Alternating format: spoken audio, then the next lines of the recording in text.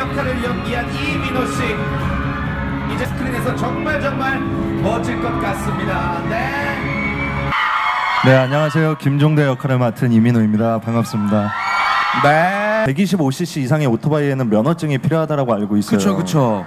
근데 제가 오토바이 면허증은 따로 없습니다. 아 아쉽다 아쉽다. 그래서 사실은 저는 공약을 바꾸고 싶어요. 그래요 그래요. 어떤 공약일지 우리가 한번 들어볼게요. 예.